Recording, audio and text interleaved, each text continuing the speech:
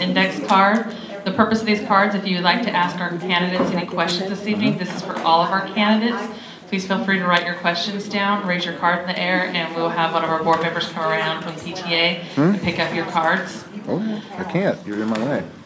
We can go ahead and read the rules that we're going to be going by tonight for the candidates. Each candidate will be able to have a two-minute statement for our opening. The bell will ring once after a minute and 30 seconds, and then again two times at the two-minute mark. When the bell rings two times, the candidate is asked to please end your response. When being asked questions, you'll be told a time limit for each question if it is other than two minutes. Some questions may be a two-part question, and you can be given up to three minutes, and other questions could be a one-minute question. So again, when you have 30 seconds remaining, the bell will ring once, and when your time is up, the bell will ring twice. In closing, each candidate will be given two minutes for a closing statement. A bell will ring once at the one minute and 30 second mark, and again twice at the two minute mark. When the bell rings, please end your response. I'd like to thank Devin with WFPL this evening. He's going to be our moderator asking the questions. Thank you so much. Because we have five of you and the other panels were two each, um, I might shorten the length of time that you have to answer some of the questions just to get through some of them. Um, Lee, if we can, Mr. Bailey, uh, start with you with opening statements, two minutes. Um, she'll ring the bell 11 minute 30. Please begin. Thank you. My name is Lee Bailey, and the reason I'm running for school board is nothing new. I think everybody at this table will probably agree that we feel that JCPS is not delivering on their promise. Our students, our children are not getting the education they deserve. I grew up in a family of professional educators. I have a father that was a professor at UK. My mother taught elementary school for 60 years. I've been around teachers my whole life. I'm afraid we're not doing the job. I also am a high school sports official. Now, that has nothing to do with the school system, except I'm used to making decisions that necessarily don't make people happy. We always joke that if you make all the calls right, half the people in the gym are gonna hate you. Well, I don't have a problem with that. I believe that the school board should make decisions not based on who supports them or doesn't support them, who endorses them or doesn't endorse them, what friendships you have or don't have. We need to make those decisions based on the facts and the understanding that the school system is there to educate our children, period. If we don't meet that goal, we've failed. That's why I want to be on the board. I want to be that person who will make that decision based on the facts. And I'm not scared to make people angry by doing the right thing. Thank you. Thank you so much. Ms. Horn. Nothing is more important than our children. You know this. It's why you're here.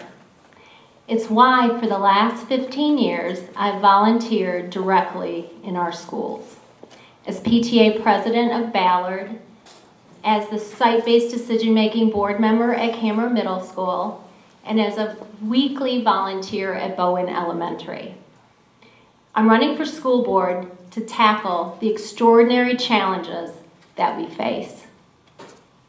Together, we can make our schools great.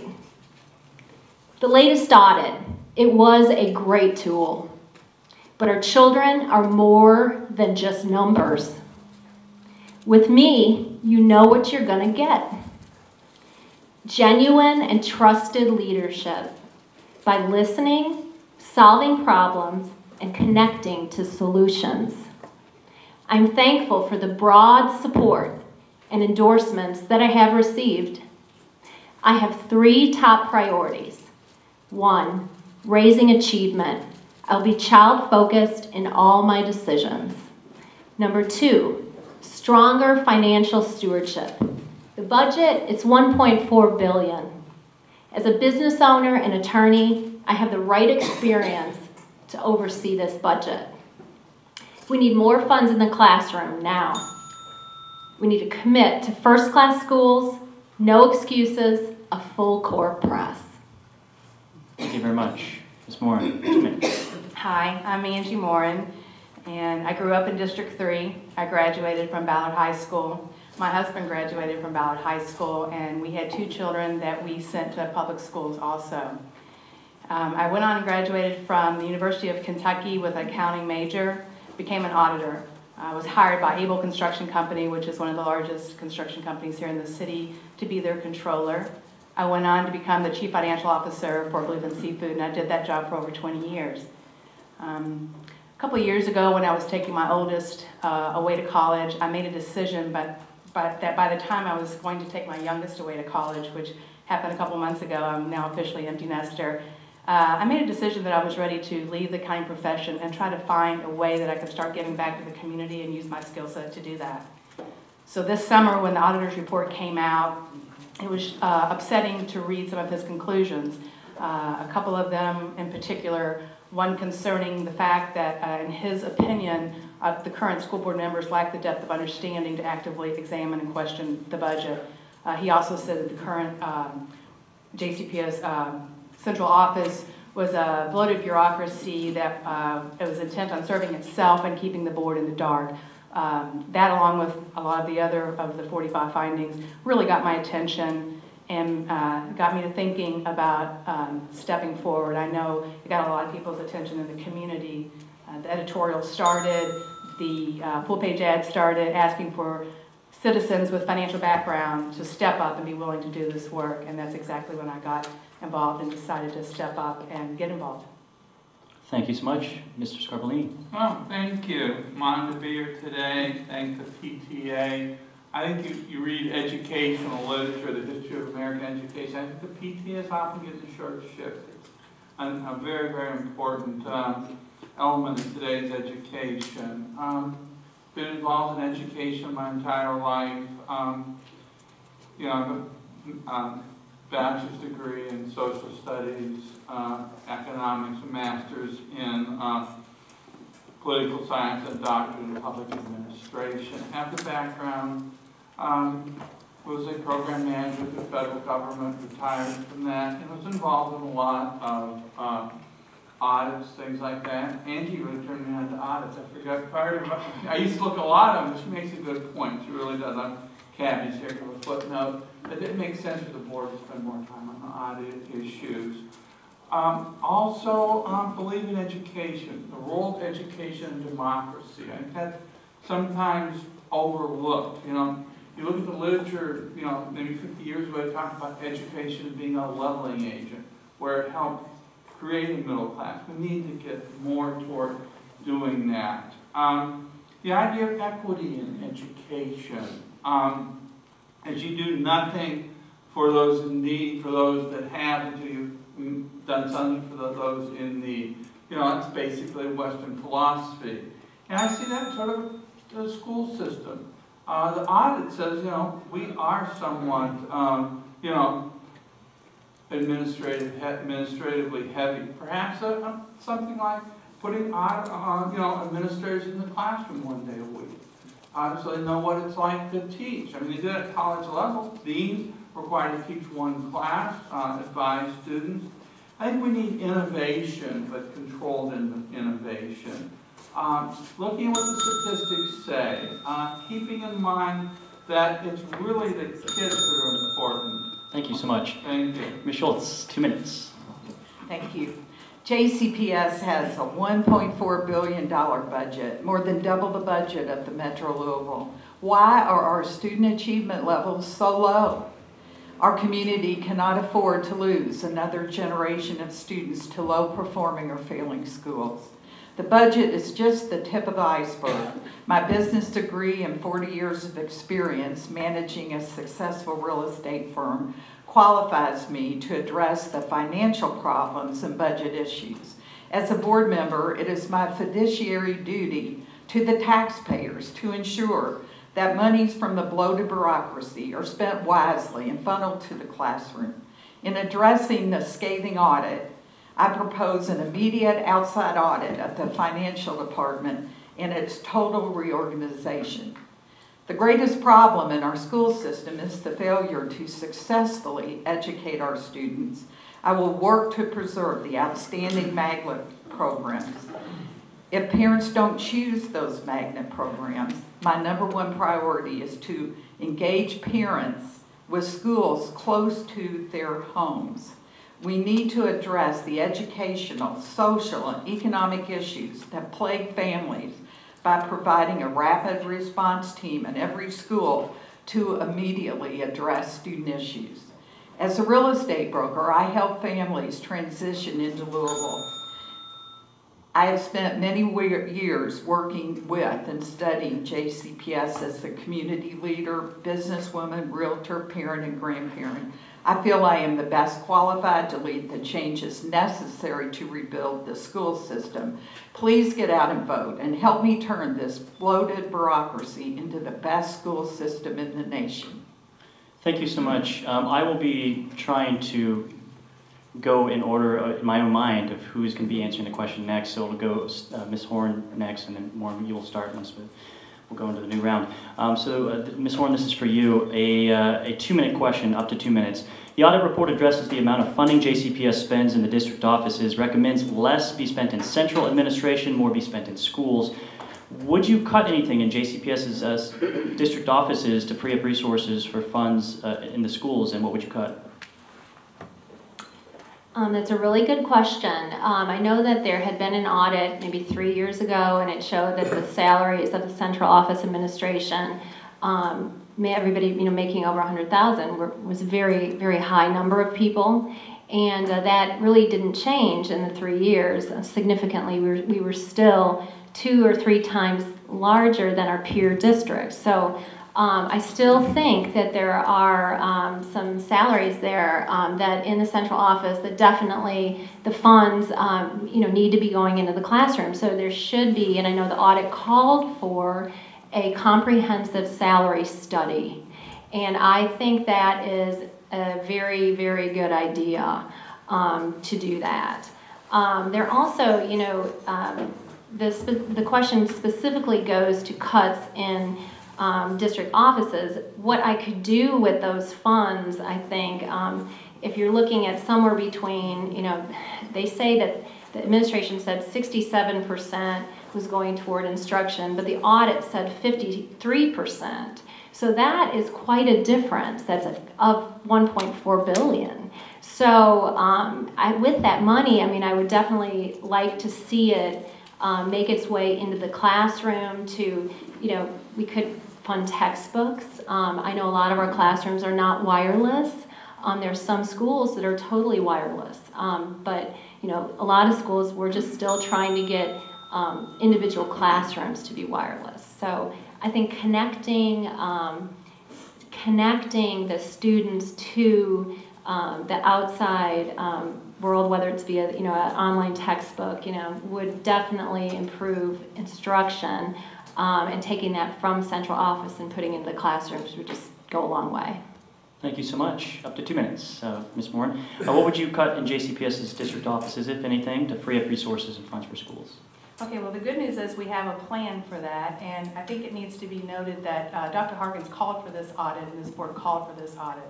Uh, This plan that the auditor came up with has 45 findings and 219 recommendations. There's a lot of work right there that we can go ahead and get started on immediately. Now, I know that some things have been done. I don't think enough has been done to this point, and I don't think the sense of urgency is there. But um, we have warehousing issues, we have personal use of JCPS vehicles, we have cell phone issues.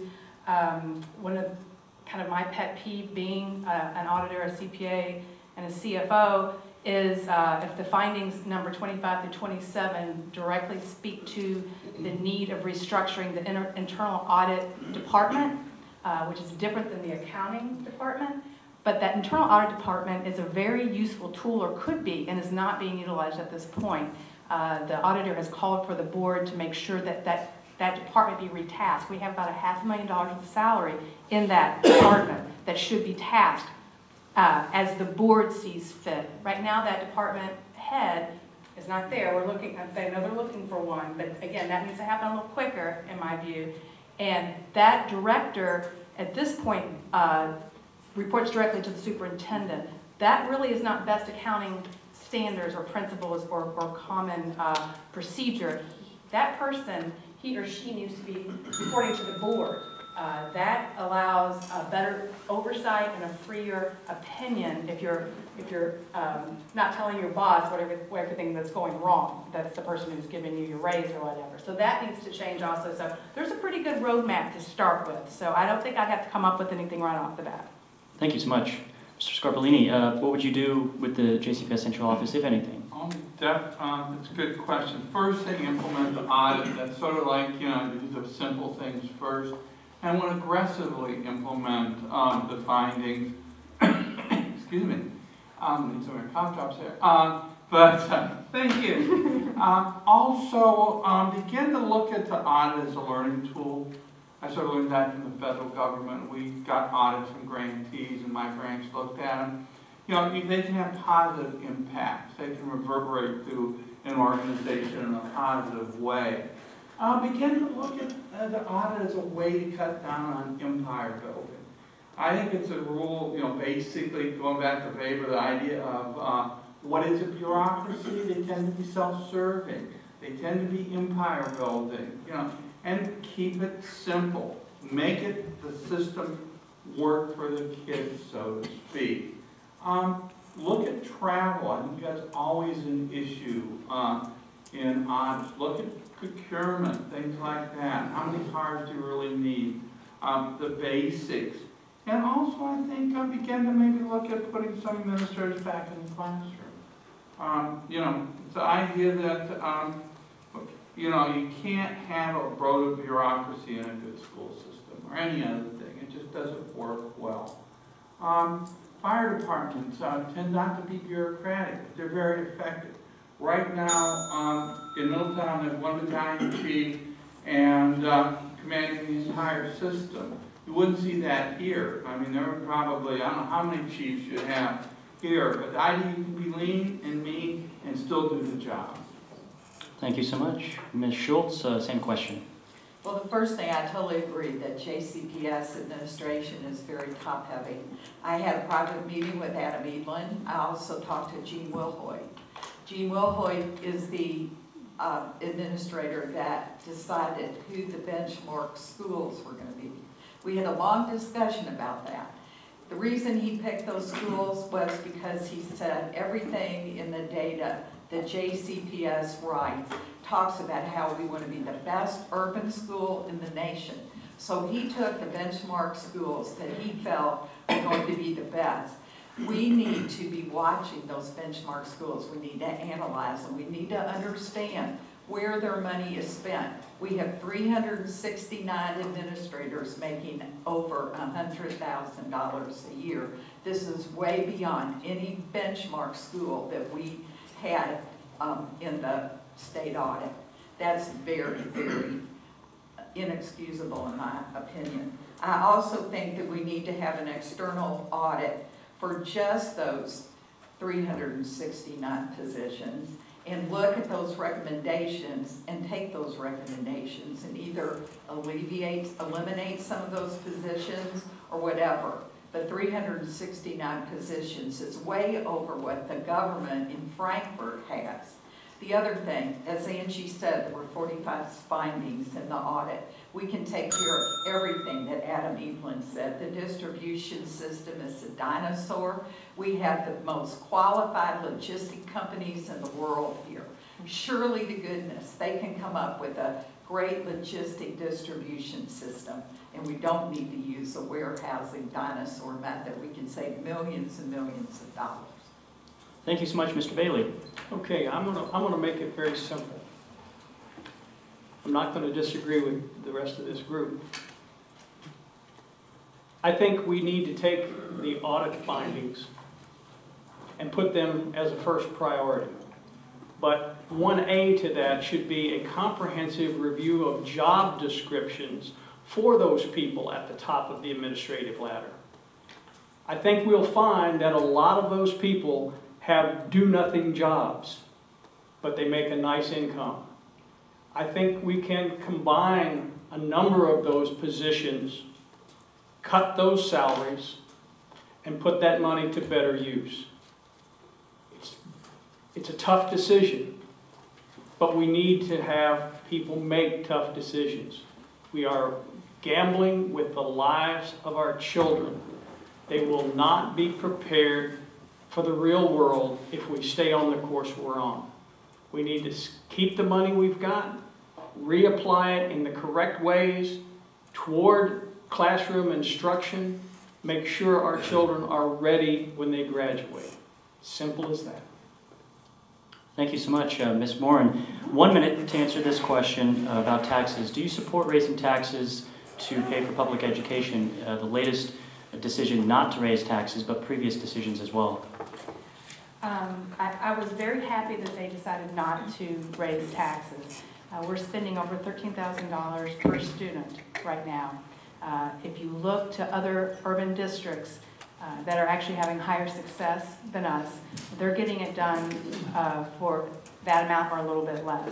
So I think it's not really spending more right now, it's spending more effectively right now. So, uh, yes, I, I, I mean, I would not, I don't think we need any more money right now. I think we need to use what we have more effectively. Mr. Scarpellini, same question. Thank you. Um, it's the idea that, um, you know, taxes can't be continually raised. We take money out of the, out of the system, it impacts it in different ways. Um, I look, the more I get into this, the more I see, I don't think there is a reason to raise taxes. Um, I think there's efficiencies of scale involved in any organization. Uh, you, you can begin to, um, you know, understand that, um, other countries educate students a lot, you know, for half of what we do. Um, the idea that somehow we have to have some cost built into this and understand what our goals were and somehow effectively meet those goals financially. Thank you so much, Ms. Schultz. I totally agree that the property taxes should not be increased this year. I would act on the budget findings of Adam Edelen in order to streamline the budget and funnel monies into the classroom. I would propose an executive search for a world, for a world-class CFO from the business sector. And I would ask for a complete reorganization of the financial department here at JCPS. Until we are able to properly identify the expenses and analyze their effectiveness, we should not be demanding more from the taxpayers. Thank you, Mr. Bailey. Throwing money at a problem never solves it.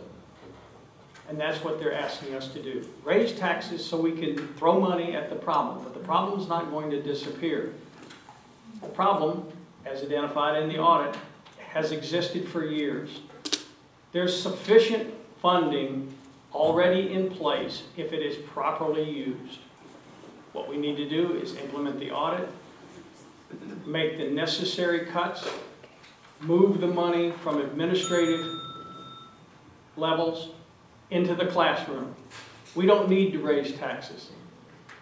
They haven't shown a need for it. They've just said, we need more money, but they've never given us a good reason why we need more money. Prove it, then we'll vote for it. But until they prove it, no, no raise. Thank you, Ms. Horn. Yes. On the latest decision to not raise taxes, I supported that. Um, with the findings of the audit, um, it was uh, just, we have enough. And that was the sentiment um, of people in our district I listened to. Um, I, I went and talked to people in smaller cities. I wa- have walked the district. And uh, I also talked to our, some of our administrators at, in the schools, the principals, and, and looked at it. Um, but I do think that through the audit, it pointed out there was you know, some better budgeting um, that the board would be able to review um, monthly, you know, income expense um, statements showing actuals, comparing, you know, actuals, and uh, and the variances. And I think um, that is a needed change and could really um, amplify, you know, the areas that you know we see that we could capture money instead of raising taxes. So at this time, no. Thank you.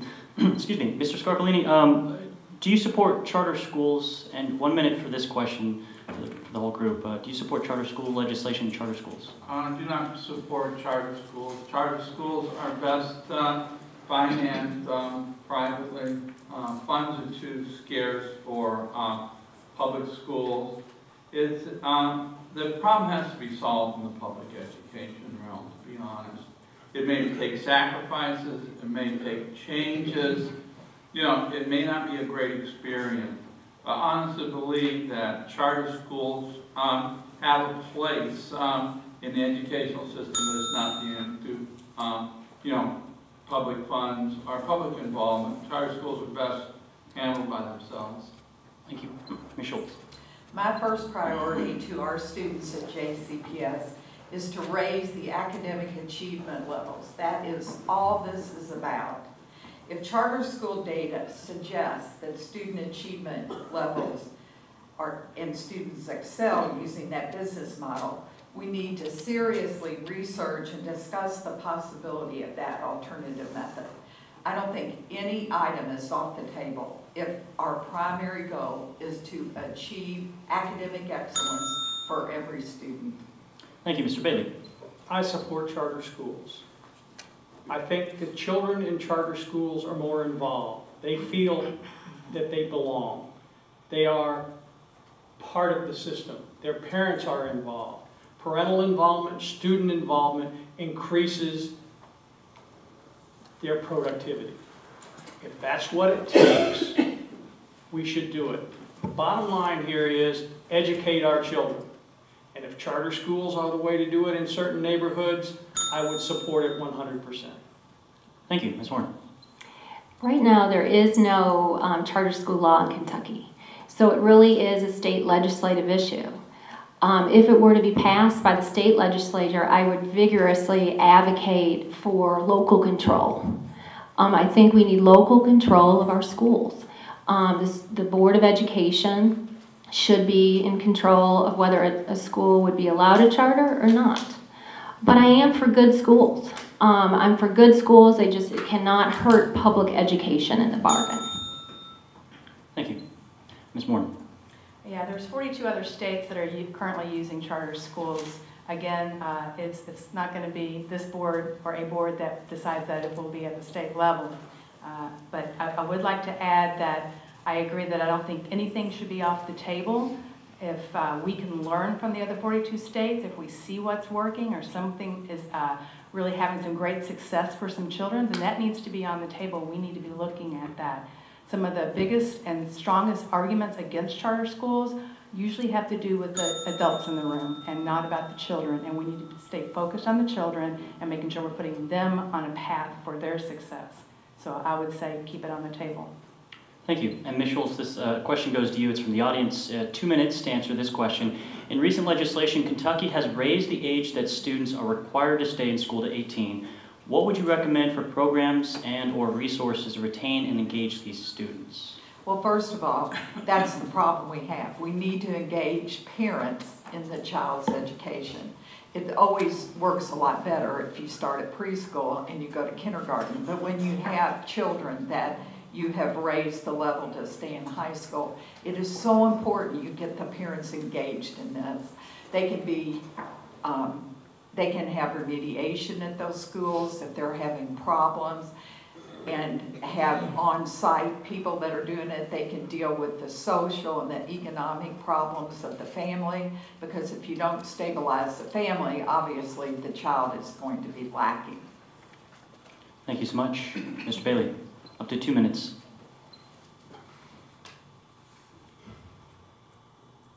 I think it's important that, just like Ms. Schultz said, to get the family involved. I go back to an earlier statement, I am a big advocate of neighborhood schools because it allows the parents to be involved. It allows the students and their parents to be involved together. Almost 50% of the students in JCPS live below the poverty line. When you move a child cross-county to school, they miss out on a lot of the education that is available to them. No after-school activities. Mom and dad can't come to a parent-teachers conference because they don't have the financial wherewithal to get cross-county to meet that teacher. Involvement by the student and the parent is critical. Keeping them till they're 18 is, is a good start. But if they're not involved, they're just treading water. They're not making any headway. get back to where we can have that involvement between the parents, the teachers, the administrators, and the students as a team. Neighborhood schools is the answer to part of that issue, and that's why I support it strongly. Thank you so much, Ms. Horn. Two minutes. What would you recommend for programs and resources retain and engage students who might otherwise drop out when the uh, dropout age rises? Yes, I think it's really exciting that our children, um, you know, we do have a requirement that they stay in school longer because one of the most important aspects is that classroom time. It's that time with the teacher in the classroom. So anything we can do to have more of that, obviously our children will be more prepared for career and for life.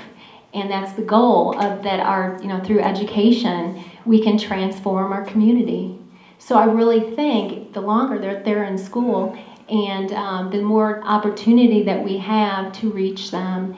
And I think that the, um, the things that, that, that are going on currently with these career academies in the different high schools and a real big focus on the ACT preparation is just exciting because I think that the children, um, they can stay in longer and then they have a better you know a better uh, path to, to be more successful if they are going to college or if they're going into a technical training so i just think it, it just it's really exciting that um, we we do have that law that you know puts them keeps them in school longer Thank you so much. Ms. Moore, same question.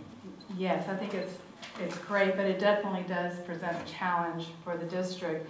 Um, I think that it's gonna be, uh, we're gonna need to maybe pull in more of our corporate uh, partners into this. Uh, I know Ford is, and we've got great corporate partners, but uh, the externships, the career um, ac- uh, academies, the, the aerodynamic magnets, the communication magnets, uh, start giving these high school age juniors and seniors some things that are a little more exciting and real world so that they can start seeing maybe that vision or that path that they'll go next. I mean, they have to be there, so if we can just find something that can excite them um, at a different level or in a different way, and, and we do need to be innovative with that, but I think reaching out to the community and our corporate uh, partners will be critical in this step. Thank you so much, Mr. Scarpellini. Oh, what, thank uh, you. Would you Um, recommend? Education literature shows involvement improves intent, you know, uh, attendance, uh, ability to stay in school. Um, Board has currently a Saturday school program, look at expanding that. Um, Return to vocational education, I was in high school in the, um, geez, mid-sixties, early sixties, whatever, um, there was a large vocational program, large, uh, you know, welding shop, you know, wood shop, uh, you know, lathes, things like that. We're, we're expanding, United States nationally expanding its industrial base. Make jobs for these kids, them to work half a day, kind of thing. Um, again, innovation, use the ROTC program as a base to discipline students or help with the discipline to keep them in school. Uh, Indiana, for example, you can earn your two-year degree while you're still in high school. Um, maybe more of that. Um, also, um, when I was chairman of the fire science program at Central University, uh, we solved our basically attendance problem with making it very practical. We put on a recruit class. You came to VU, you went through a recruit class, you came out a certified firefighter. Uh, you got your hazmat certs. Uh, you know, became an EMT. A lot of kids uh, worked their way through the second year with the EMT cert they earned uh, the first year. Thank you so much, Mr. Bailey. This question goes to you. Um, up to one minute for this question.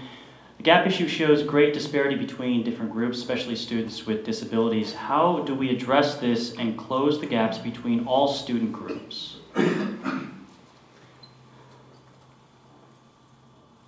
think the answer there is, and I hate coming back to the same thing, is an involvement issue. We need to have teachers and administrators who can help identify the issues and direct the students to the right teachers, to the right programs. Uh, We need to be more involved one-on-one with the students in, in in figuring that, that out. I don't have a real solid answer for that. It's, uh, it's kind of like the question, how long is a piece of string? I'm not real sure. Uh, But it's something we would have to look at. Ms. Horn? Um, I was today in a couple schools and I talked to uh, the principals to find out and I asked them directly, you know, what, what can we do to um, bridge this gap? And one of the things that both of them said was the professional learning communities that have been created in the schools, um, they are making a difference. Um, what they are doing is getting down, drilling down, they said, to the kid level. And so the, the teachers are meeting like sometimes once a week to, to find out what's going on in the life of that child that's getting in the way of that instruction. And uh, it's, it's very, very good because that's what we need. We need to, to reach every child. And I think we're starting to do that.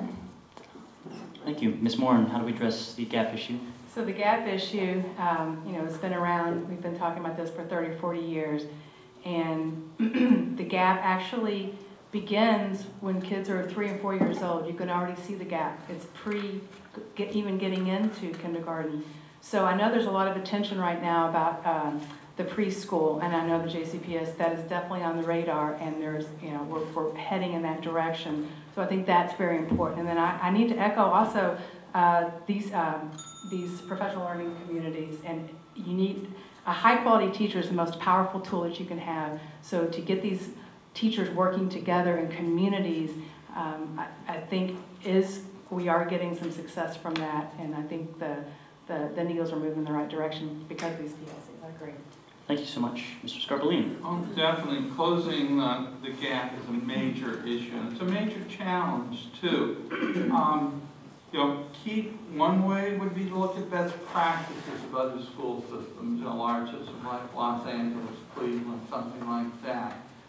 Also, uh, go, the, look at the effectiveness of the individual learning plans that are required, you know, in uh, Kentucky.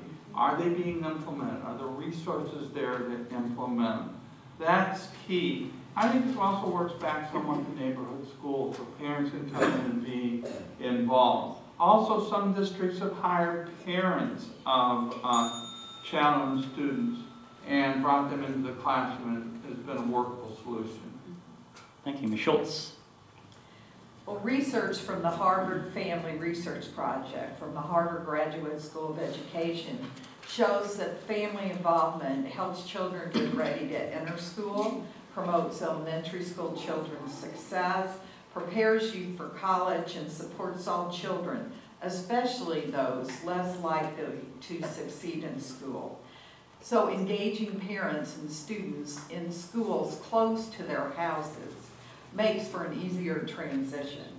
In addition, as I've said two or three times already, rapid response teams in every school addressing social, education, and economic issues that ultimately result in higher student achievement is imperative at JCPS.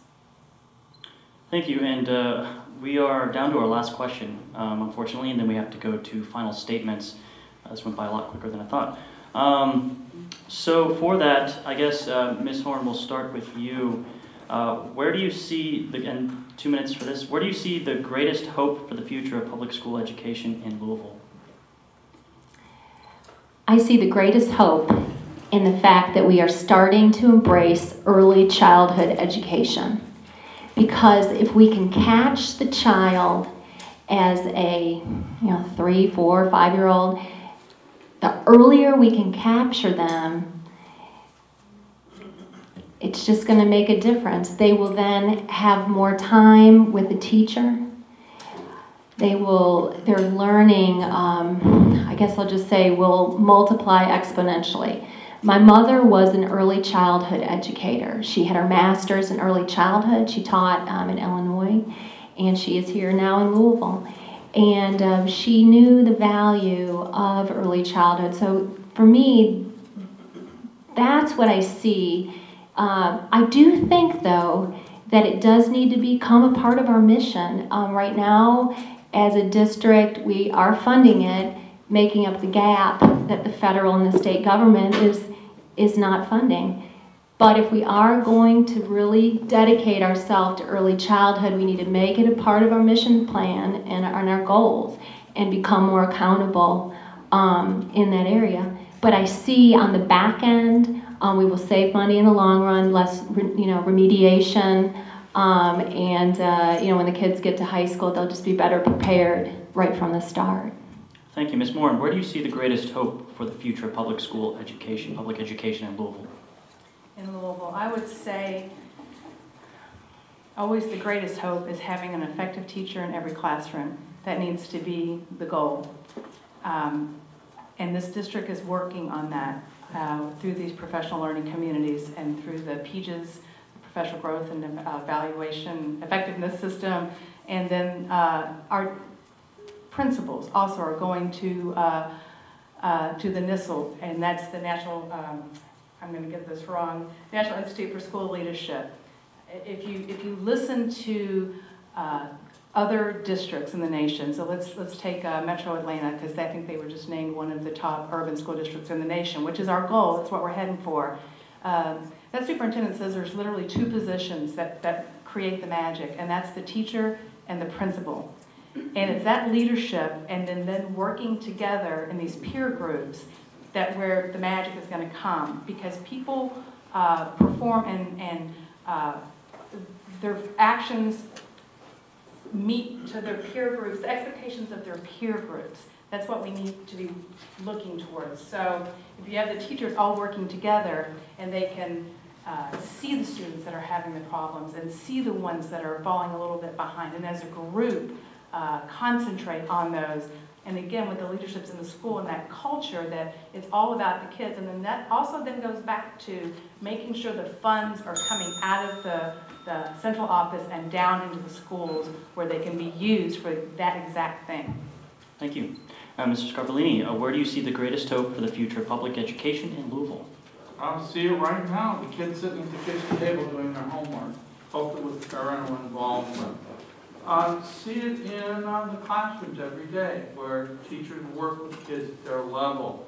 I don't see it from the federal government, and increased federal funding, it's just not in the cards. Uh, you know, and also see the here as uh, local schools, uh, working with a shared curriculum with daycare has been tried in other, um, you know, districts. But getting the kids up to snuff early, uh, kindergartens that um, are both fun and educational. Uh, there's a lot of great kindergarten classes here. My wife got 22 years, um, and she used to talk about some of the neat things. She wanted to go back to kindergarten. So um, it's taking what we have and doing better with it. Um, and definitely neighborhood schools work into. The idea that any kindergartner has to ride 40 minutes on a bus is insane. I'll admit that straight out. No, you know, kindergartner should have a large bus ride. But uh, make sure that the system works, that we challenge kids. I just the idea of challenge, period, pushing them, allowing to grow. It's, it's basically education is best, classically, you know, changing behavior. So I think, you know, we can do it. We're gonna have to do it, I think it's to be done locally, and it has to be emphasized. Thank you. Ms. Schultz, where do you see the greatest hope for the future of public education in Louisville? I think the greatest hope after 40 years here with the school system being so dismal and the student academic levels so bad is the incredible community outrage right now of what is going on in our city. And it also is establishing a sense of, of urgency here. The fact that we had an audit with Adam Edelen and have found 45 findings of incompetence, we are going to get that part totally corrected, hopefully, by, by having an external audit and reorganizing the financial department. And we do have to start with early childhood education, but you have to start before kindergarten. You have to start in the preschools. And you have to have the teachers engage the parents again in how to prepare their child to be kindergarten ready. I really do believe the community is pushing the school system to make changes. 40 years of this, nobody has really pushed it. We were in chaos. Now the community's had it. And I think this year and the, the uh, election to this school board is going to be the beginning of a really good school system and people are going to sit at the table and they're going to have hard talks. We don't need cheerleaders for school board people anymore. We need people that are going to tell the facts exactly the way they are and everybody in the community can get behind it and help get the school system righted. Thank you very much. Mr. Bailey, uh, where do you see the greatest hope for the future of public education in Louisville? The greatest hope for public education in the city of Louisville goes back to, as many of the folks here have said, to involvement. Parent, teacher, administrator, student involvement. I wholeheartedly agree that we need to get with our children early and get them started. But we need to get them started in a way that gets them excited about school, about learning. 40 minutes on the bus in the morning at 6:15 is not going to get them excited.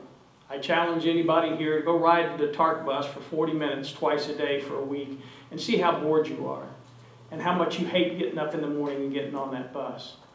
We need to build a strong foundation. Any building is only as good as its foundation, and if we don't start with those kids early and get them excited and get their parents excited about education and learning and what it can do for them, we fail.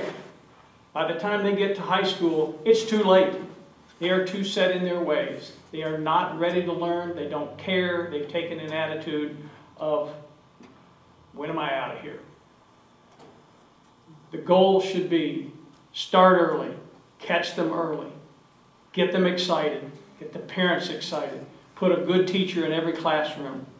My mother went in for heart surgery and we saw the nurse doing something. And we asked her a couple days later, what was all that? And she said, that was a fourth grade student of mine from 40 years ago, and she remembered a mnemonic device that I taught her. A great teacher influences kids for the rest of their lives.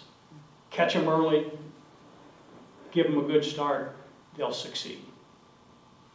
Thank you so much, and we'll move into closing statements. We'll start with Ms. Moore in two minutes, just like before. She'll let you know at a minute and a half uh, when to wrap up. All right, I want to thank the PTA and, uh, for having this forum. This is very important. Uh, This is an important election. Um, There is a lot of change that needs to happen. The community, I think, realizes it. I think the reason for this forum is for you guys to, to kind of get to know what we would bring to the table. So I'm going to go over, I'm going to give you three things because people like three things. Um, Number one, I'm a parent uh, of public, with public school children. Um, 14 years' experience, I think that voice is very important to have on the board. Uh, The second thing is I have the deep financial background that I think is critically needed on the board at this time. There's been a lot of talk today about budgets and audits and making sure the resources are spent as effectively as possible. I've been doing that for 25 years on a daily basis, that data-driven decision-making on a daily basis. I know what that looks like. I'm used to holding management accountable. I'm used to asking the hard questions, and I understand the numbers enough to ask the right, the correct questions, because it's not always just about spending the amount that's been budgeted, it's about spending it as wisely as possible. And then number three, uh, I am blessed right now with the time and the energy and the desire to do this. I am newly retired. I am a newly uh, empty nester, and um, I would be very excited to do this work. It's important work, and I'm ready for the challenge. Thank you. Mr. Scarpellini. Oh, thank you. I really appreciate the opportunity and the quality of the questions too. Um, basically, I think, put, boil this down to three things. We're really not looking at each other's notes, but, uh, listen, lead, and manage. That's the system where if you're gonna lead, you first have to know what's going on in your organization. You can't come to the board meeting and sort of scratch each other's back and say, you know, I went here, there, and everywhere. The idea that you're gonna listen to the people outside. Um, maybe even allow people to talk first. At first I wasn't for that. Maybe that makes some sense. Then you have to lead, quality leadership. Share your vision. Be willing to take the critique of your vision. And definitely manage. Manage to a system where the assistant superintendents are accountable to the superintendent and the board. I have the skill sets, just recently retired as a, as an academic chairman, um, have a devotion to education. I can see how just a two or four-year degree helped our kids with BU. Um, number of firefighters, fire chiefs we got, and they would never, ever, unless they had that opportunity. Don't, the, the opportunity cost, they worked hard, and definitely a dedication to quality teaching. A few meetings I've been at the board, I really didn't hear much on quality teaching. Uh, I spent fifteen years evaluating faculty, so I have an idea of what is quality education. I'll work hard, I'll work constantly, and hopefully do a good job. Thank you so much. Ms. Schultz, closing statements. First of all, I'm not retired. Secondly, I'm never going to retire. I have a real estate company with 45 agents. I go to work every day and love it. I sell real estate. I sell real estate to families that transfer into Louisville. I'm in the trenches every day with these families. I see how hard it is for them to pick a school. It used to be the best, the biggest stress of relocating family was to buy a house, but not in, not in Louisville. The biggest stress is to find a school. And for all of you who don't know, if you don't come into this community during an enrollment period, you come in during half the time or whatever, and you will not be able to find where your child is going to attend school until you have a signed lease or a signed accepted contract. With that kind of an introduction to Louisville, they tell me I'm not living here, and I sell Southern Indiana, I sell Shelby County, I sell Oldham, Oldham County, uh, Bullitt County, and they, those counties are growing 20%. Louisville is stagnant. That is huge. The other reason is that we have a $1.4 billion budget. Again, I've already said this. It's double what Metro Louisville has. Why in the world are we not able to have our students achieve good academic levels? I also feel it's a basic right for every citizen of America to be given the option of an excellent public school education, and we cannot give them that in Louisville, Kentucky. Thank you, Mr. Bailey. Thank you. I appreciate the opportunity to come out here tonight and express my opinion on things. Everybody in this room should be outraged. Outraged. At the article that was in the Courier Journal within the last 10 days that told us that 40% of our students who graduate are not college or career ready. I don't know about anybody else, but if I performed at a 60% level at my job, I would be out the door. It's time for a change. We got excited. We are the 51st percentile in Kentucky. We are average in the state of Kentucky, who's in the bottom quarter of the United States in education. That is not anything to be excited about. We should be leading the way, not being happy with being average in a low rated state. Passion, I've got it. That's a requirement. The ability to understand what's going on. I've spent my life reviewing financial statements of companies from Walmart to mom and pop grocery stores when I'm making mortgage loans and business development loans. I understand the paperwork. I understand what questions need to be asked, how things are hidden sometimes, misstated improperly sometimes. I firmly believe in neighborhood schools. My mother used to have a poster on the wall, and it was Charlie Brown with his head on his desk, and it said, It's never too late to learn, but it's often too early. When I see those kids on the bus at 6 o'clock in the morning, it's too early. They should not be up that early going across county to get an inferior education with the budget we've got. Thank you. Thank you. And Ms. Horn. Thank you to the PTA for hosting us t- this evening. Um, JCPS is America's 28th largest school system with over 100,000 students. Our teachers, they are tackling some of the toughest educational challenges in the nation. Did you know that the number three language spoken in JCPS is Maymay? Just think about that 107 languages. Our teachers are dealing with huge issues. Our children need to be the center of our universe and all of the board's decisions. That means focusing on the whole child, getting our community resources focused on our children. Together, we can do this. We can have more entering kindergarten ready to learn, more graduating on time and ready for college, more entering college and completing it. We can transform our community only through our public schools. I would like to be part of the solution. So if you elect me, I will do that. I will hold our superintendent accountable and I will do it relentlessly. I'm a PTA mom. I've got kids in school and I care deeply. Well, thank you so much. That is our time, and please help me in uh, thanking the candidates up here. Appreciate your time. I'm sorry we couldn't get more questions. Thanks everybody again. Thank you guys for coming out this evening. We appreciate your time.